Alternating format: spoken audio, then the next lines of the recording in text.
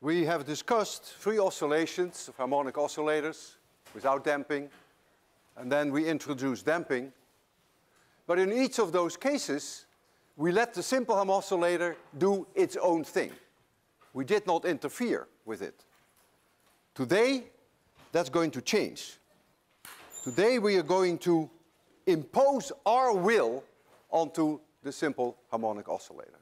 And we can impose our will onto it by driving it with a force and then see what the net result is. And let's start with a simple example that I have here.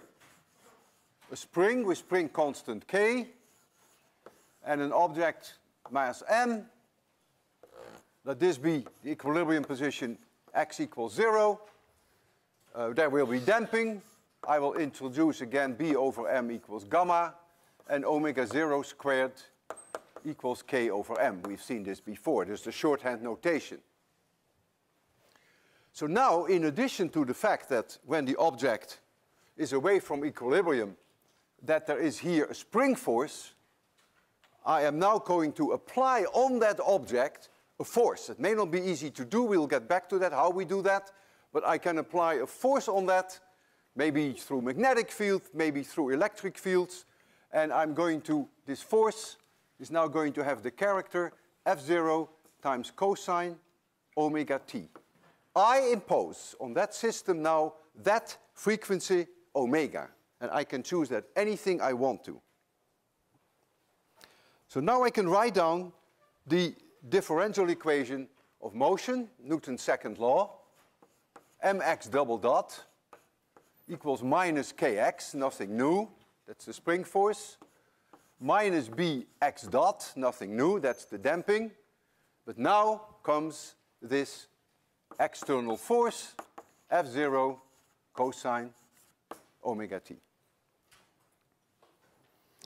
What I'm going to do now, I'm going to move this to the complex plane. Not that it is absolutely necessary, but I'm so used to that. So I'm going to write this now in terms of a z, and then we take the real part of z later that gives us back, goes back to, to x. So I'm going to write this now in terms of z double dot. I divide m out. We get plus gamma times z dot plus omega 0 squared times z. And that now becomes f0 divided by m. Remember, I divided m out. And then we get cosine omega t, for which I will write e to the power j omega t, because I work now in the complex plane. And through Euler, I can always convert that back to cosine. My trial function for z, which is a complex notation, is some amplitude times e to the power j omega t minus delta. Now, crucial is that you understand why this omega and this omega are the same. This is the omega of my driving the system, that is my will that I impose on that system. Clearly, given enough time in the beginning, the system may be unhappy and it may do all kinds of nasty things, which we will discuss next lecture. But ultimately, I will come out to be the winner, and ultimately that system is bound to start oscillating with the frequency that I impose on it. If I start shaking you in the beginning, you may not like that and you may oppose to that, but ultimately I will be the winner and I'll make you shake with that frequency omega. So clearly, the ultimate solution must have the same omega as the driver. And what is the meaning of this delta? Well, it is not at all obvious that the object will be in the same phase as the driver. It is possible that when the force is pointing in this direction, that the object may be going in the other direction. And you will see that, that indeed can happen. And so this delta is a phase angle which takes into account the possibility that the driver and the object in their motion are not exactly in phase. We call this solution a steady state solution. Steady state that you must wait long enough for the system not to fight you any longer. That will be part of my next lecture, the fighting issue.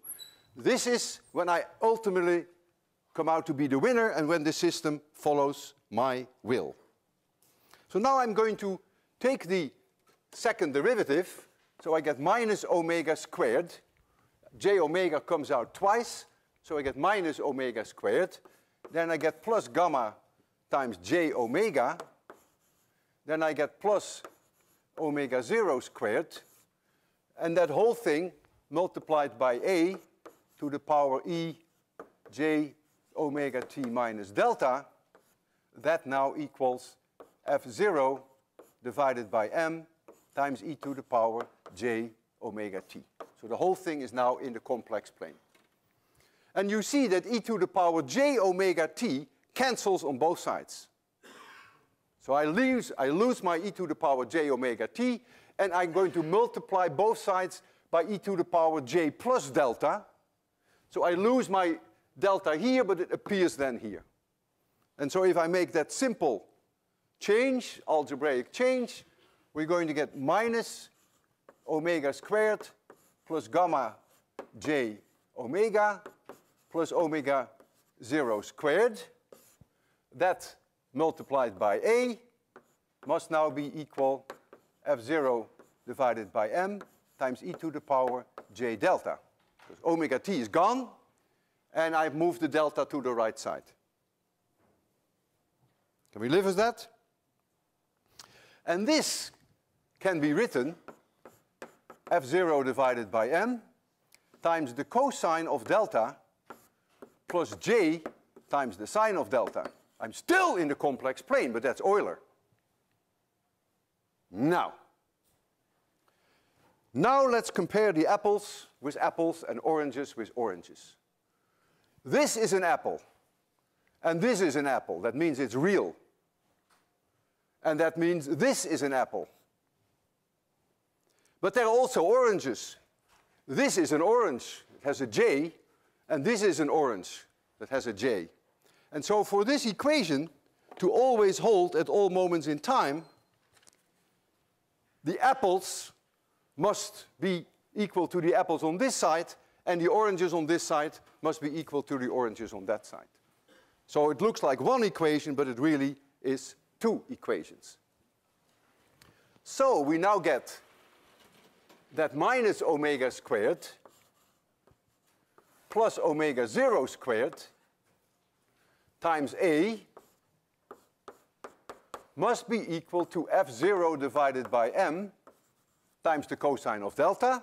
Apples on both sides are equal. And now we get the oranges on both sides. Gamma omega must be equal to times a. I still have this a here.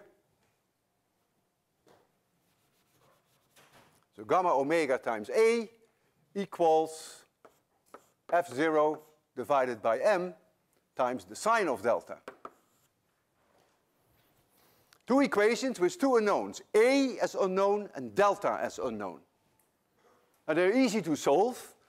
If you square them, then you get sine squared delta and cosine squared delta. You add them up, that's 1. And so that immediately gives you then what A is. So A is going to be F0 divided by M upstairs. And downstairs, you're going to get omega 0 squared minus omega squared squared plus omega gamma squared. So this is the amplitude of the object. And we'll massage that, we'll talk about this for at least the next 10 minutes. It's a very complicated function. We want to see through that equation what that actually means. And the tangents of delta is easy to find because you define this equation by that one. You get immediately the tangents of delta. A's disappear and f0 over m disappear. And so you'll get that the tangent of that angle delta is omega gamma divided by omega 0 squared minus omega squared. we can now return to the real world. And if we return to the real world, we have to change x, uh, z back into x. And so our final solution, which I will put in color, would then be that x as a function of t is this amplitude a times the cosine of omega t minus delta. And that is the omega that is my will that I impose on the system.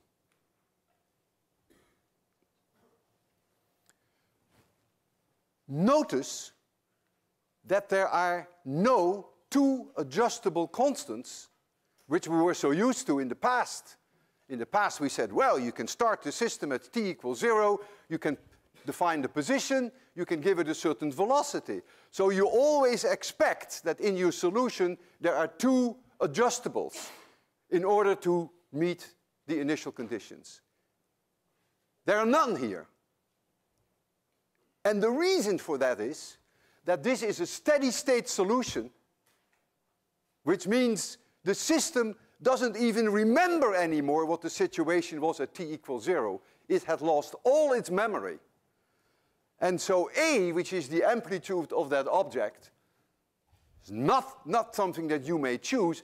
A follows immediately from this equation, which is a complex function of omega, omega 0, of f0, and so on. And delta is also non-negotiable. Delta has nothing to do with your initial conditions. Delta follows from gamma, omega, and omega 0. So now we're going to look at A and try to understand the complexity of that amplitude. For one thing, it is pleasing that F0 is upstairs.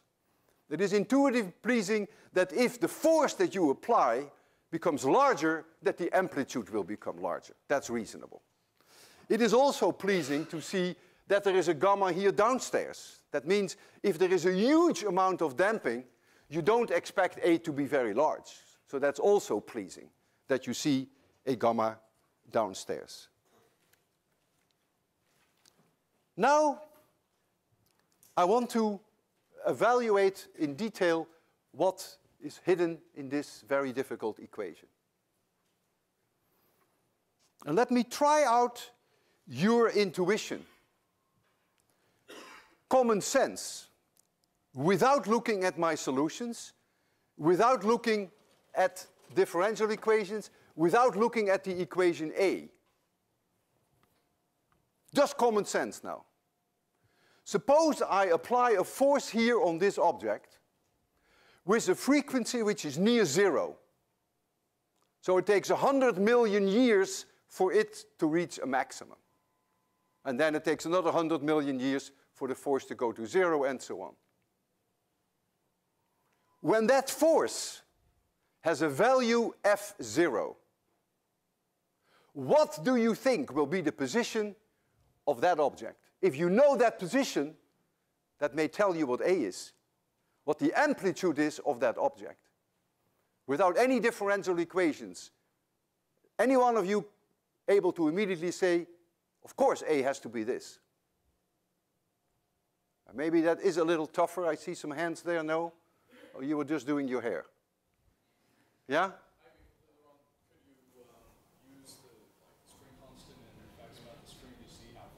Of course. If that force goes so slowly, then at all moments in time, there must be equilibrium between the spring force, which is, of course, kx, and the force that you apply, which is uf.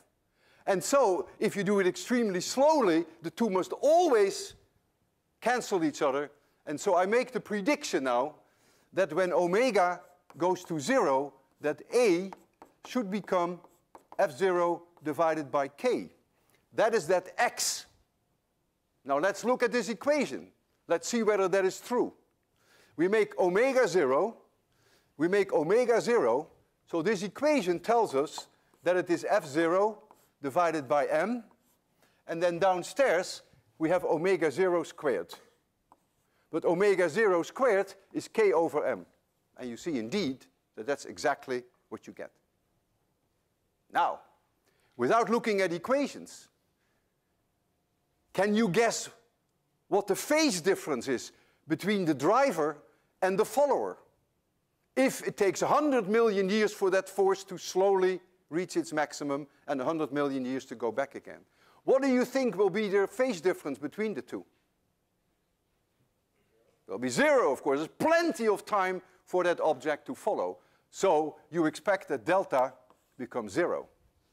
Well, if omega becomes zero, this omega, this zero is omega squared. This is, so this goes away. Here's a zero upstairs, so you see the tangent of delta is zero. And that indeed is what you see. So the two follow each other. It's extremely boring, the whole thing, to watch. And the amplitude is exactly what you predict. Let's now do something more interesting. And let us drive it at what we call the resonance frequency. We give it that word. That is the frequency that the system really would love to oscillate in the absence of any damping and in the absence of my doing this silly thing by driving it. So now we are at what we call at resonance. So this term goes away. And this term now becomes omega 0 gamma. So you now get that A becomes F0 divided by M. And then downstairs, you have F omega 0 gamma. Well, if you remember that we introduced a quality factor omega 0 divided by gamma, which is a dimensionless number, then you can also write this as F0 divided by K times Q. So that's nice to remember that at resonance, if you define this as resonance, the amplitude of the object is q times higher than what it would be at extremely low frequency. Interesting to remember. So this is the amplitude at very low frequency, and when you drive it at resonance, it is q times higher. And then, I will put that here, when omega 2 goes to infinity, everything goes so fast that the object has no time to follow the driver. The object goes nuts because of this high frequency. It can't do anything. And so A would then go to zero. And let's check that. If omega goes to infinity, you see the downstairs here goes to infinity, so A goes indeed to zero. So you have no amplitude at all. What is not so obvious, that delta here is pi, and what is not so obvious here either, that delta goes to pi over 2 in case of resonance. In other words, at resonance, the driver and the follower are 90 degrees out of phase. The follower is 90 degrees behind. Very hard to imagine what that is like, but I will demonstrate it. You will be able to see it. What it means here that at very high frequencies, the amplitude of the object goes to zero, but what I will be able to show you that if the driver goes in this direction, that the object goes in this direction. So they are 180 degrees out of phase, and that I can show you. That's what it means when delta equals pi. So now we can make a, a graph, a plot of A as a function of omega.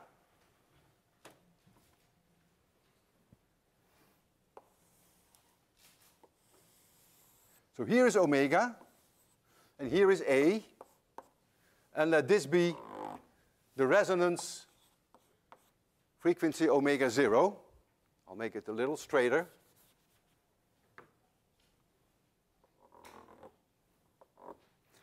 So you start at very low frequency, if this is 0, you start here with f0 divided by k. We all agree that that was obvious. And then the amplitude will build up go through a maximum, goes down, and ultimately goes to zero. And at this value, omega zero, this value is q times f0 divided by k. Now for those of you who look very carefully, you may have noticed that the maximum here that I have drawn is not at omega equals omega 0, which may go against your instinct. This maximum occurs at a frequency, which we will call omega max, which is always a little bit below omega zero, but for high Q systems, as I will show you shortly, it is effectively the same. I will come back to this. The delta, the phase, as a function of omega, if this is pi, and this is pi over 2, and if this is omega 0, then that delta will change in the following way, which is way harder to imagine than that what A is doing. You are in phase at very low frequencies. At resonance, precisely at omega 0, you hit the pi over 2, 90 degrees out of phase. And at very high frequencies, you will see that the two are out of phase, and I will be able to demonstrate that to you.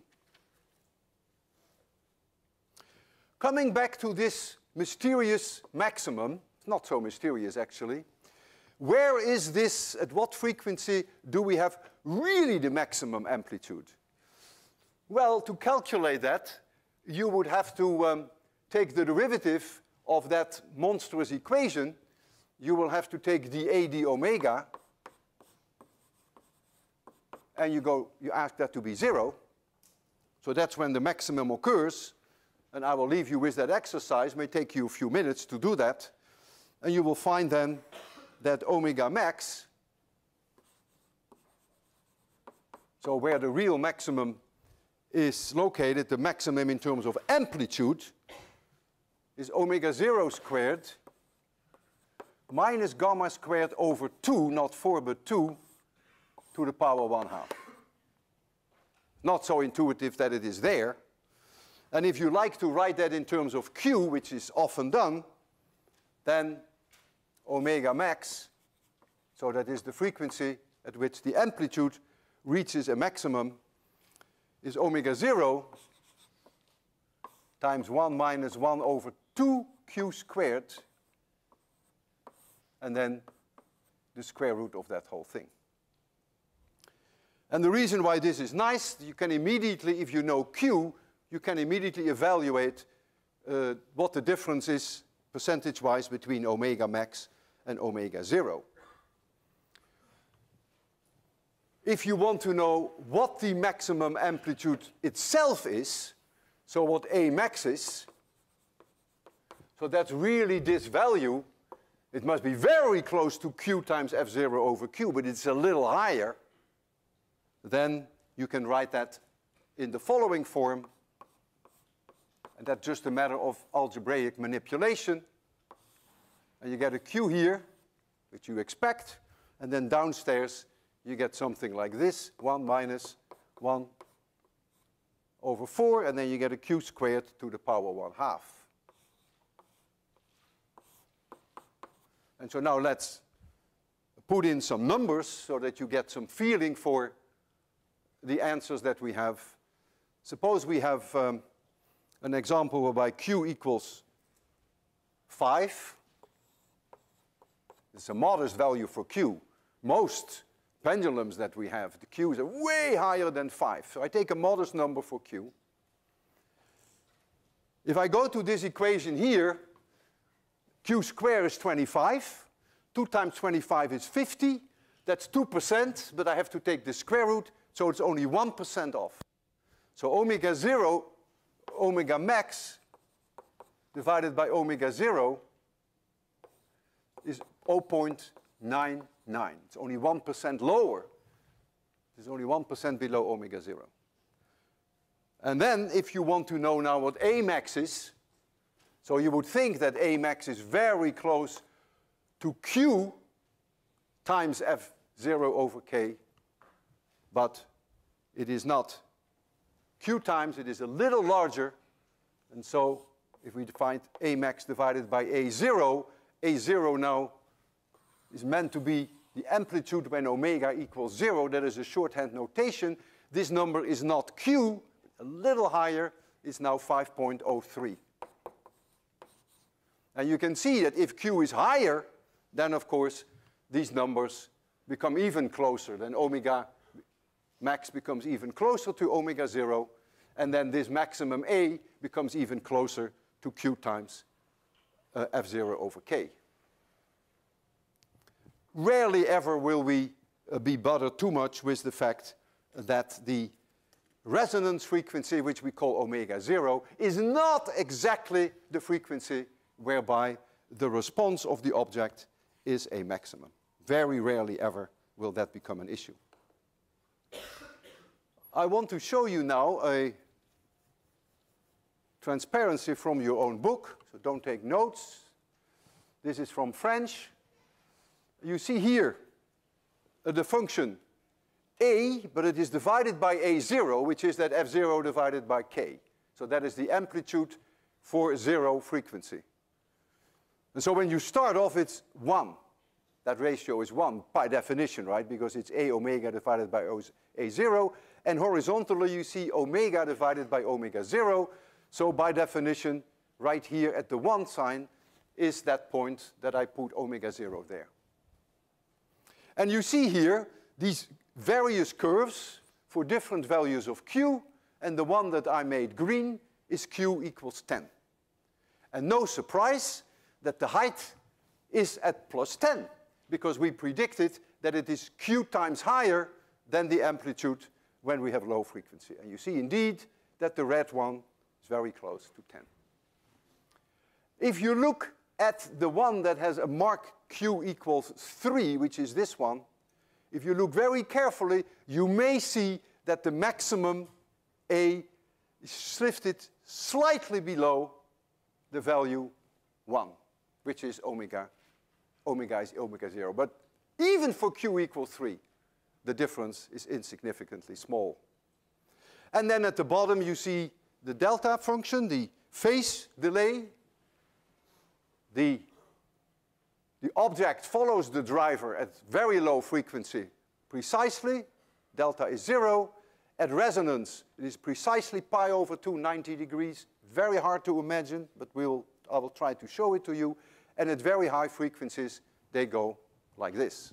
They are 180 degrees out of phase.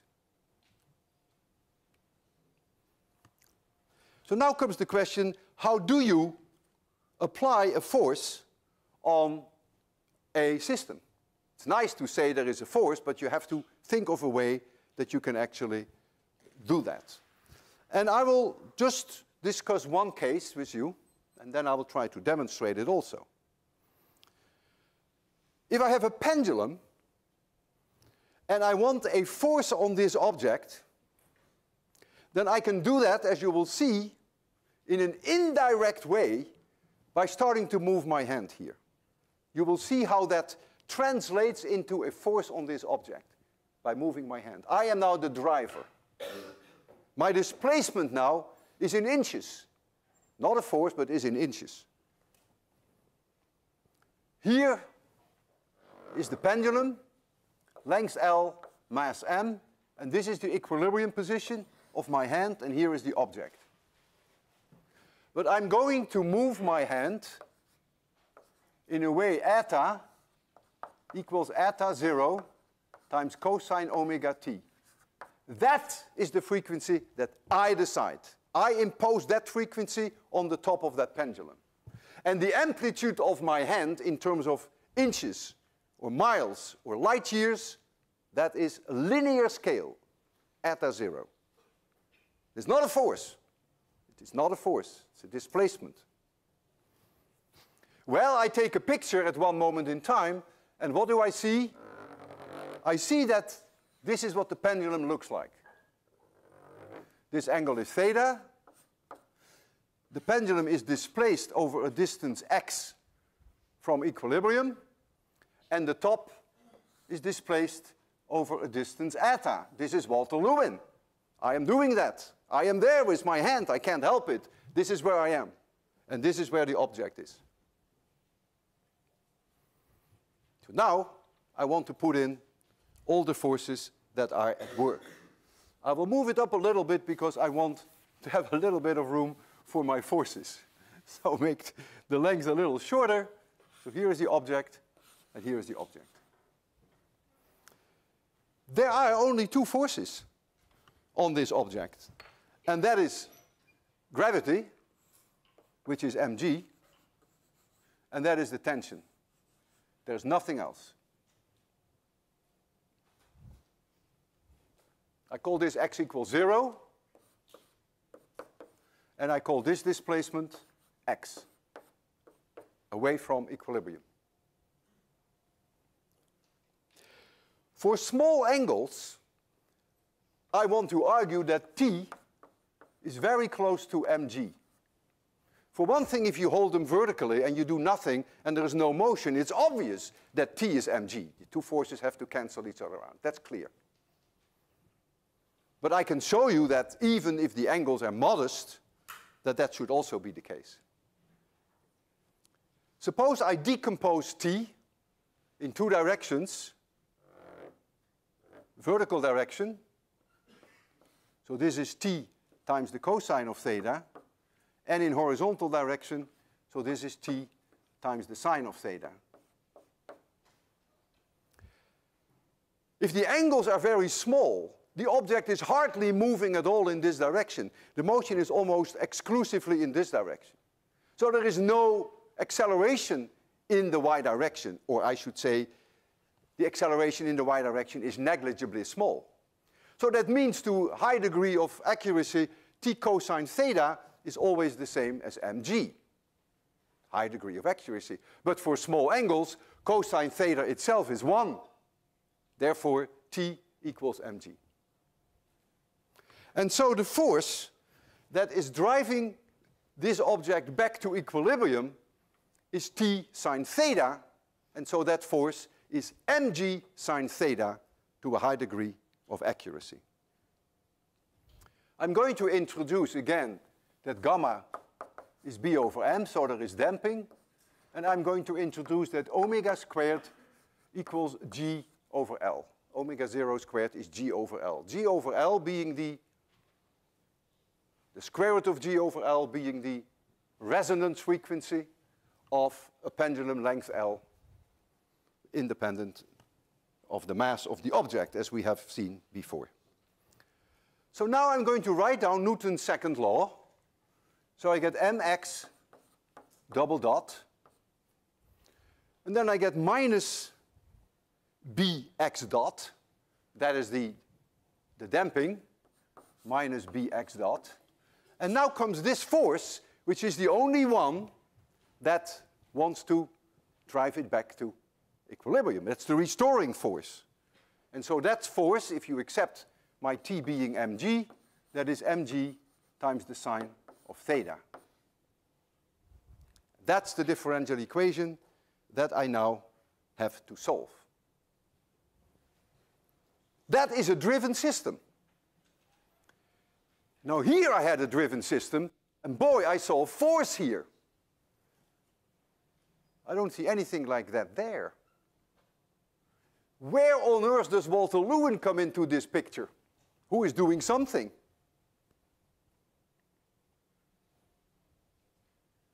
Have I overlooked myself, perhaps?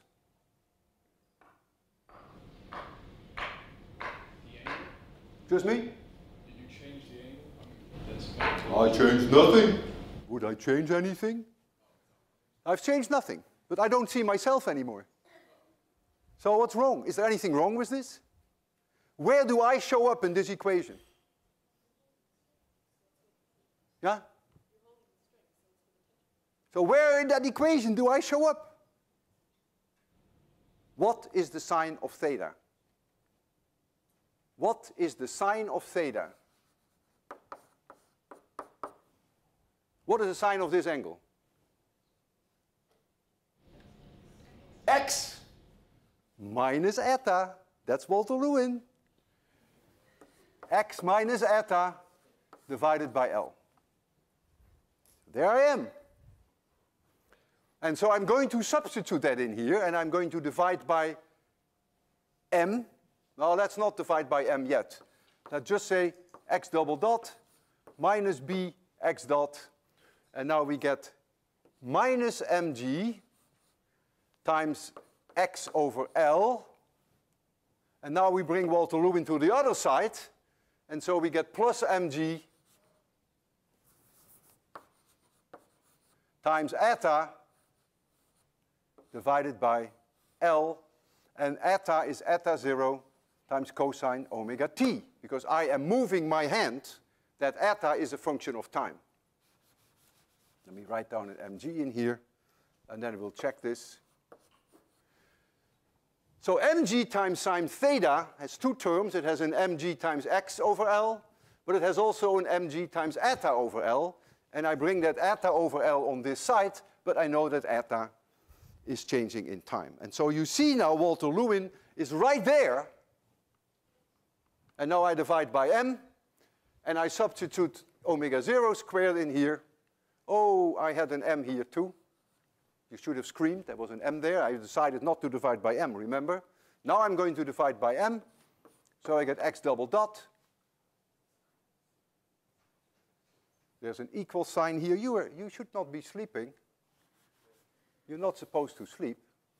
This is an equal sign, minus b x dot, right? Equals minus b, yeah, we're in business now. And so I'm going to, yeah, this should also, you're all sleeping. Right, all of you are sleeping, my goodness.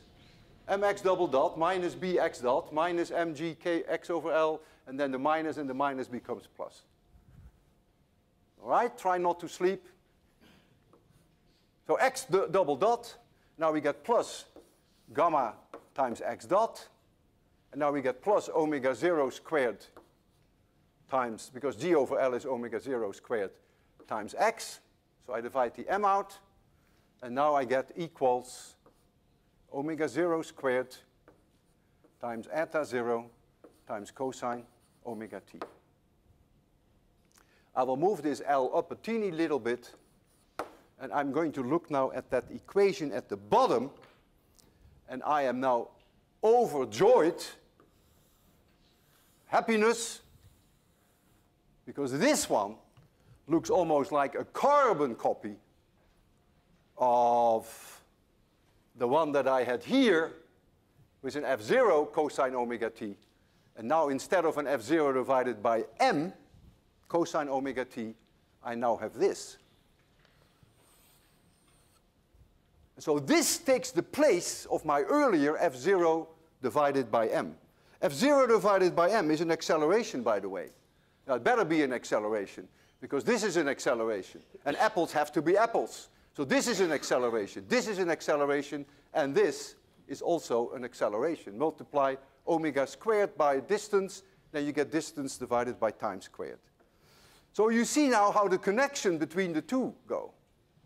Where originally I got an f0 over m times cosine omega t. Now, because of Walter Lewin's motion, I'm going to get an omega 0 squared times eta 0. And so you see now how this motion of my hand indeed translates into a force on the object. Well, I have the solution. I don't have to do anything. All I have to do is change this by omega 0 squared times eta 0, and I'm done differential equations are identical. I don't even have to change the tangent of delta. Nothing changes. This is the only thing that changes. So we're done. We can now make some predictions. The prediction is that if I'm going to shake this pendulum, and I'm going to do that very slowly,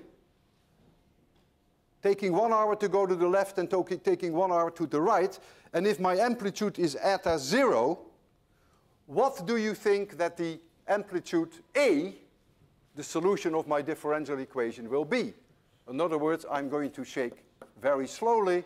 What do you think A will be without looking at the differential equation? So I just go with my hand like this, amplitude omega, eta 0, amplitude eta 0, and I do it very slowly. What will be the amplitude of A? Eta 0. So you expect that this goes to eta 0. Well, if you don't believe it, go to this equation, substitute in here 0, in here 0, you get omega 0 squared, each of this omega 0 squared, and you see eta 0. It's exactly what that equation predicts. But your common sense says the same thing. Now what do you think delta is if I'm going to move this pendulum very slowly to the left and to the right? Uh, of course. Of course the object will follow me. Would be ridiculous if I take one week to go from here to here that the object would be there, right? Obviously the object is always here. So you also predict that delta is zero. And so now we can make a quick prediction that at resonance, you probably get Q times eta zero, and then delta would become pi over two. And when you go to very high frequency, then A would go to zero, and then delta would go to pi. And this is what I want to demonstrate to you. So the final solution of this pendulum, which I will write down in red, is going to be that x equals a times the cosine of omega t minus delta, just as we had before. A is non-negotiable, has nothing to do with the initial conditions. Delta is non-negotiable, has nothing to do with the initial conditions. This is the steady state solution. All right. Let me take my shoes off. Because then you can see it better. All right, here's a pendulum. Here's a pendulum. It's going to be very exciting, I'm going to tell you. I'm going to move this with omega very close to zero. Very exciting. I'm doing it right now. Aren't you thrilled? No, you're not thrilled? But I'm moving. And now I'm going to go back. Do we agree that A, the amplitude of that object, is exactly the same as the amplitude of my hand? Do we agree? Do you see that? That is why that A is eta zero. And that follows from that rather complicated equation. Did you see that delta was zero?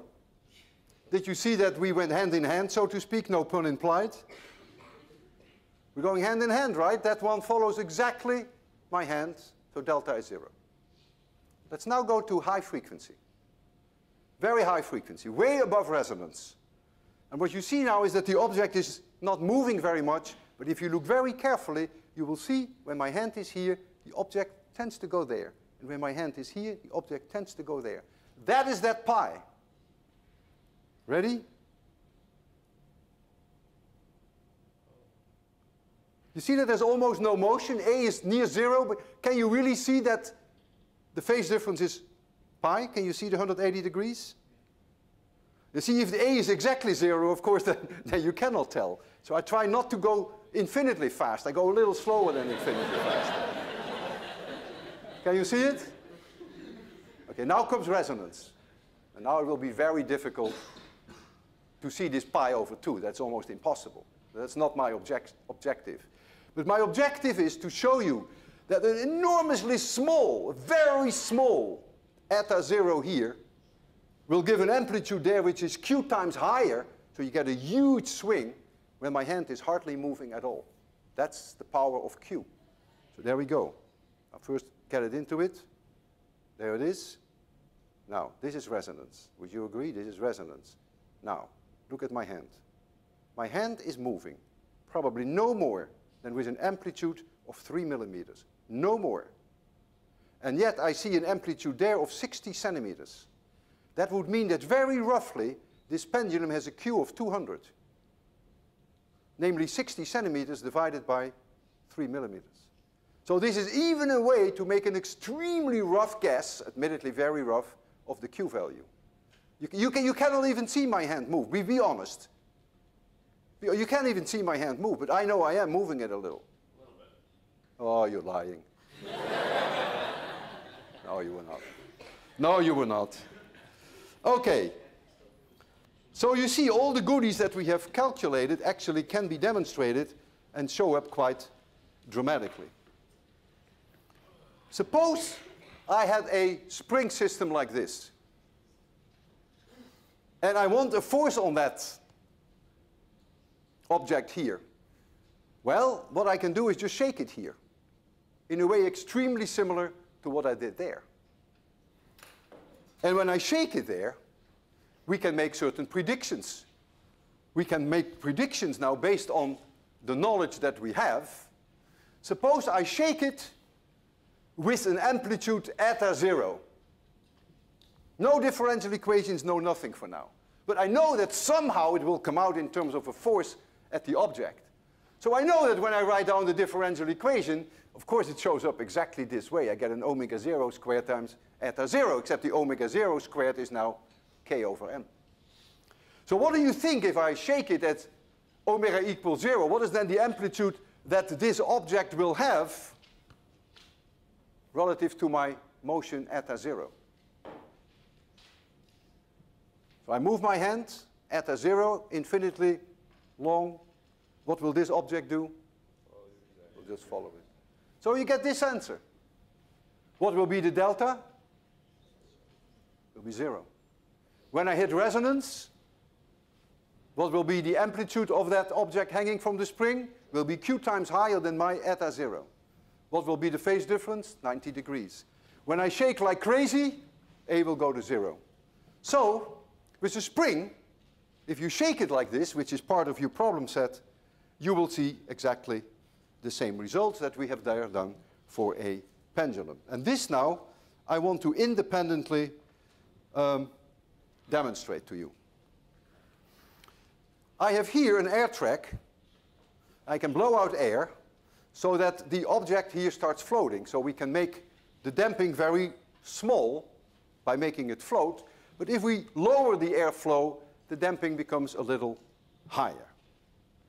I have a spring here with spring constant K, and I have another spring here with spring constant K. They both have spring constant K. And now I'm going to drive this here at extremely low frequency over a distance eta zero at maximum. Eta zero cosine omega t. What do you think the amplitude of this object will be? At that very low, yeah? Half of the uh, amplitude Very, very good. Very good. Not eta zero, but why is it half? because both springs are both Because we have two springs. So effectively the spring constant is twice that. Exactly. So if I go very slowly, you will see that this displacement here will be twice as high as this displacement. But what I really want to show you is they are in phase. This one will go to the right when this one goes to the right. Now comes the catch. I showed you earlier there's a steady state solution. In the beginning, the system doesn't like me. It hates me. It fights me. It doesn't like that omega. It wants to do something different, which is part of next week's lecture. And you will see that in the beginning. And so we have to be a little patient before my will survives. You ready for that?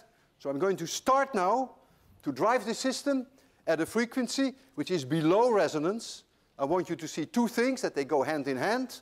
And I want you to see that the, see you're going to very low frequency. I'll give you the amplitude, here, this is twice the amplitude of the driver. Now it is here, the spring, and now the spring is here. So it's only this much is 2 eta 0. So eta 0 is, is mo no more than 3 quarter of an inch. And now we're going to let that object be exposed to this driver. And we'll give it a little bit of time to recognize me.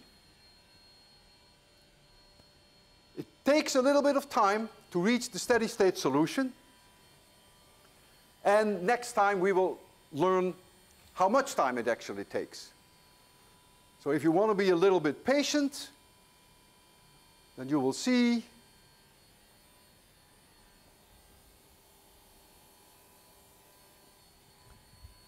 if we give it too much damping, too little air, then of course it starts to get stuck.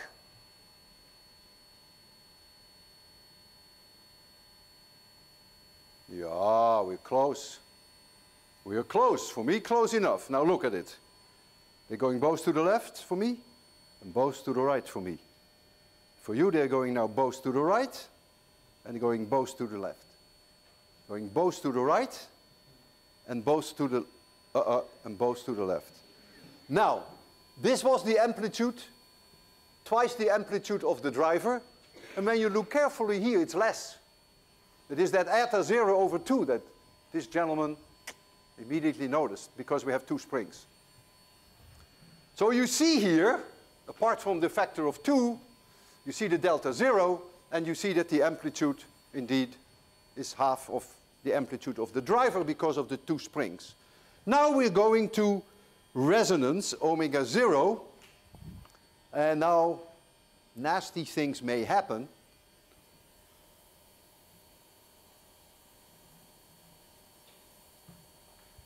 It may break. We have to give it time.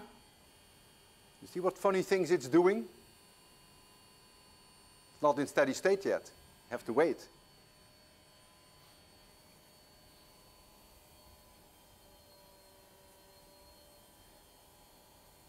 Just a little patient.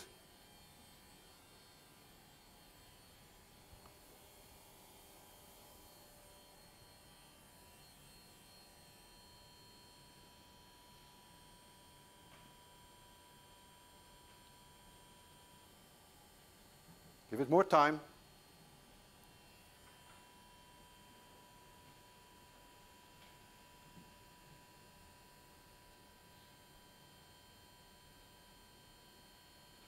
Notice also that the, remember this is only moving this much. Look how much this is moving. I may not even be exactly at resonance, you know, we can only do the best we can here. We may not be exactly at resonance.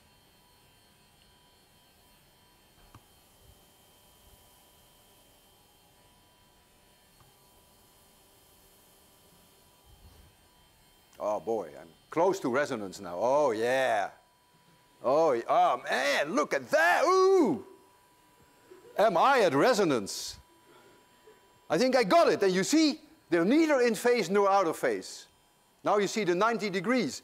And look at this teeny weeny little displacement here. And look what this man is doing.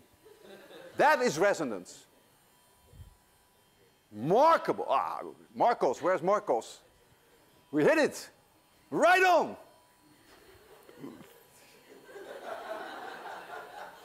Now I will oscillate it way over resonance, not way, but over resonance.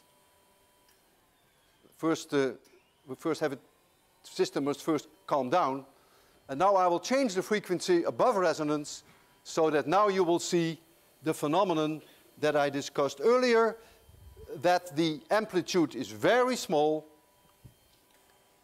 Again, we have to wait a little. Look how fast it's going and that then will go 180 degrees out of phase.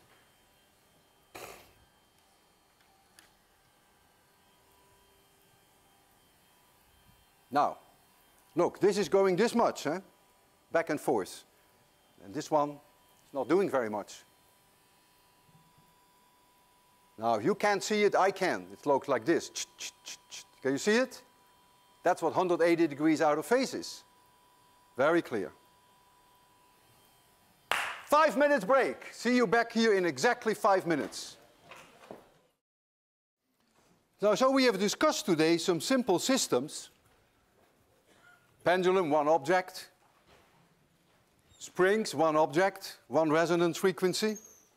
But soon, in 803, we will discuss systems with more than one object. For instance, I, if I put three cars on here with four springs, three resonance frequencies. If I have a triple pendulum, which I will demonstrate next week, one pendulum below the other below the other, three resonance frequencies. Five cars on there, five resonance frequencies. So simple objects, like a dinner plate or just a regular glass, has an enormous number of resonance frequencies. It can oscillate in many, many different ways. If you drive your car, your wheels turn around. That's certain oscillation, a certain period underlying. And you may notice at certain speeds that something in your car begins to rattle. Very annoying. All you have to do is go a little slower or go a little faster, and it stops. You go off resonance for that object. Now, you may go on resonance for another object, of course, and some cars rattle at any speed. You have a radiator in your room which rotates, that is also an underlying oscillation and a period. That may start to cause resonance in, in the frame. You may hear some awful noise sometimes. Uh, unfortunately, these fans, you cannot change the speed so easily. But you can go from state 3 to 2 to 1, and then this terrible noise will go away. You take a washing machine or a dryer. I used to remember a friend of mine in the Netherlands had a dryer. And when he started the dryer, at the very early phase, when it was at a certain frequency, the whole dryer would start to walk through the room. it would. And then at higher frequencies, it of course would stop. Resonance. Resonances are everywhere and they often occur when you don't expect them. You open a faucet. You think it's a steady stream of water, which I'm sure it is. But sometimes you hear, an unbelievable sound. It drives you almost nuts. I'm sure all of you have heard that sometimes. If it isn't in your dormitory, maybe at hotels or at home. All you have to do is open the faucet a little more or a little less, and it goes away. And it's really an extremely loud and an annoying resonance. If you take something as simple as a wine glass, which has a tremendous number of resonances, then I can make you listen to a well-known resonance, which is by rubbing the rim of the glass. When I rub the rim of the glass, I'm not exciting it at one uh, particular frequency, and certainly not at the resonance frequency. I'm exciting it at lots and lots of frequencies. I dump on it a whole spectrum of frequencies. But the glass is mean.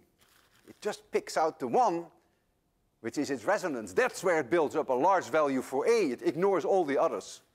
And that's why I can make it resonate at that particular frequency. Listen to it.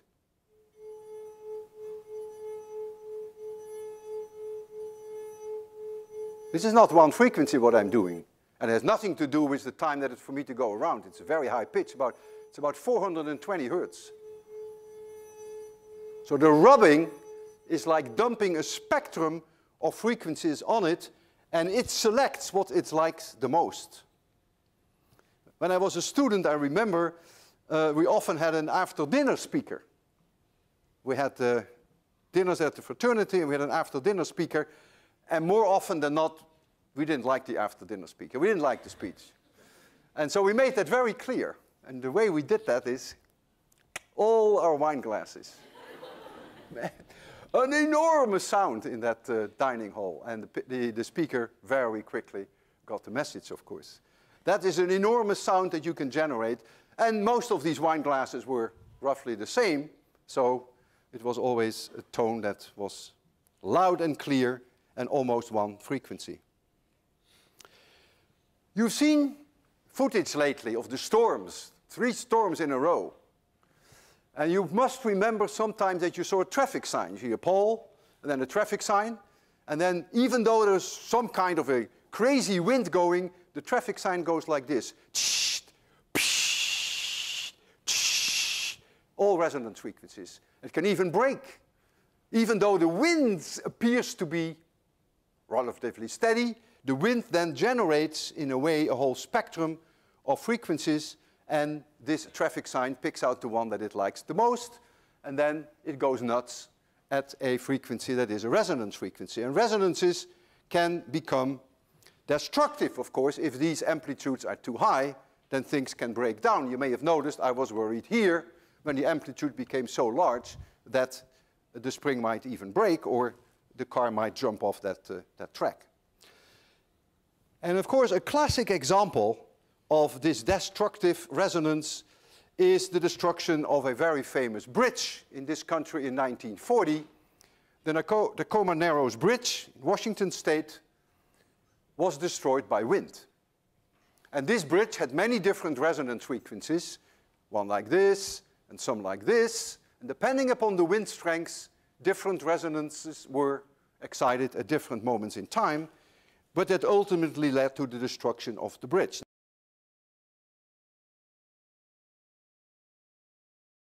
There are countries where soldiers are not allowed to cross a bridge when they are marching in step. That's the case in the Netherlands, my home country. It's also the case in many European countries. The story has it that in England, I think more than 100 years ago, when soldiers went over the bridge in step, that the bridge collapsed.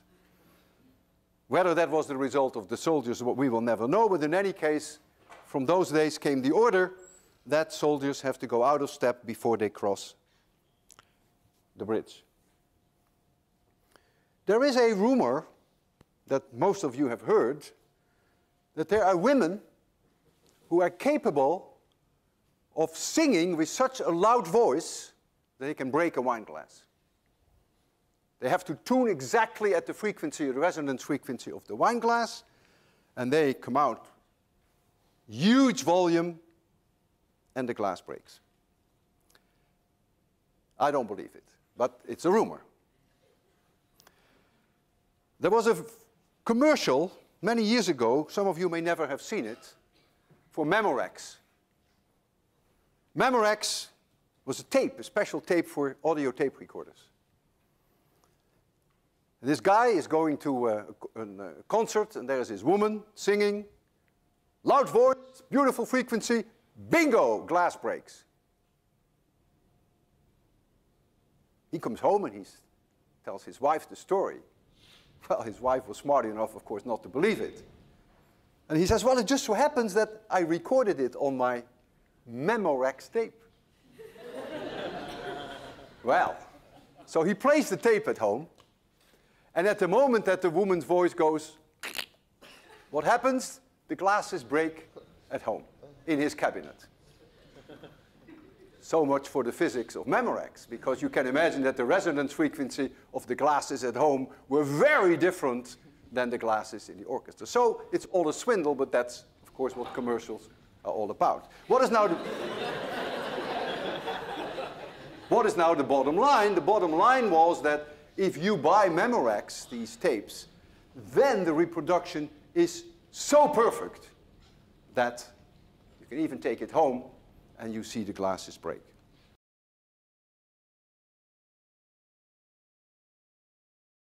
This brings up now the $64 million question, and that is, can it be done? Or can it not be done? So any women in my audience who want to give it a try, that would be wonderful. We have asked ourselves that question. Can this be done or can this not be done? By a person. And I think we came to the conclusion that a person alone without all kinds of electronic equipment could not do that. And I still believe that today.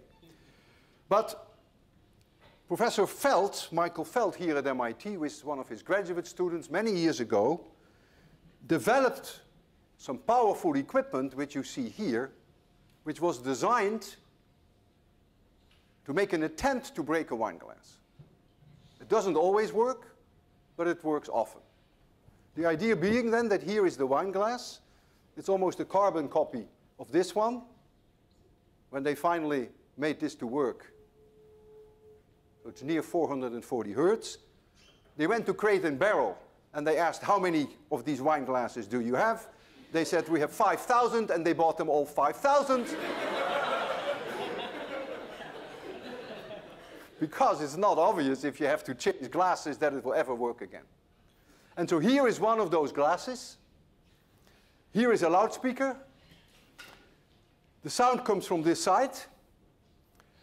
And what is nice about this arrangement, that we can make you see the distortion of the glass in this resonance mode. The glass oscillates like this, goes from oval to circular to oval to circular. And the way we can make you see that is by strobing the glass at a frequency which is a little bit different from the frequency of the sound. And think about it. Two frequencies almost the same give you a beat phenomenon. So what that comes down to is you see the motion of the glass very slowly. And then if we hit that resonance frequency, we will increase the volume and then maybe it will break. Now I have to warn you. the sound will be unbearably high. and so for some of you here in the front row, you may even want to cover your ears, or you may want to move back. It's up to you. But be careful. This is really an enormously strong signal that you're going to hear. So all be careful. You can move back if you want to. Uh, I have uh, hearing aids, as you have noticed, and I have the option that I can turn them off. but in spite of that, I'm not deaf without them, I will still cover my ears. So let me first uh, give you the light setting that we want. So we make it a little dark. And then I will show you uh, the glass. Oh, I have to change the setting here. There's the glass. It's, uh, there's no sound. It's not oscillating. And now I turn on the speaker.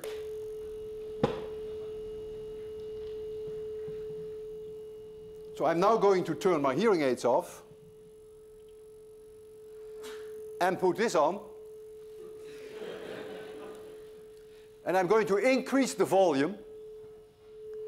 And if it doesn't want to break, I will change the sound frequency a little bit to sweep over that resonance curve so that I get onto the maximum. Because if it's only off, the Q is so high of this system that if I'm a little bit off in frequency, then the amplitude will be low.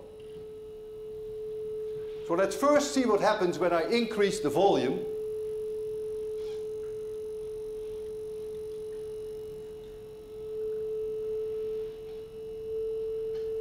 Did I do something wrong? Yes, I changed the frequency.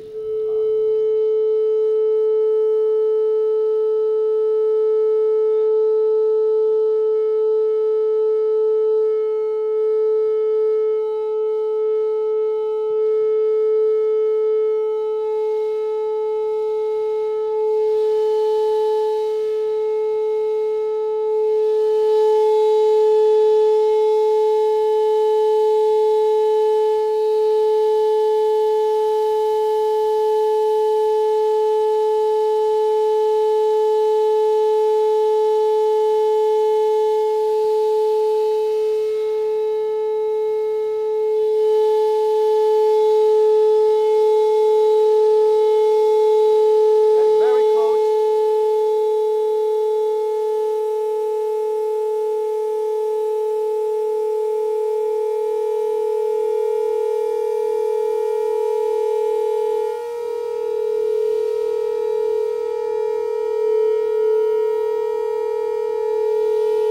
Getting very close. There it goes.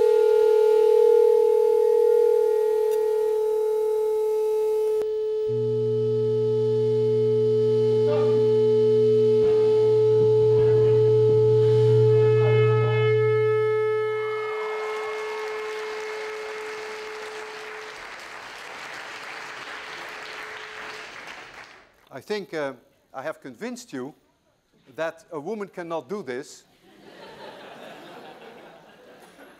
I have some uh, last words of wisdom for you, and that is falling in love is also a form of resonance, and it too can be destructive because it can break your heart.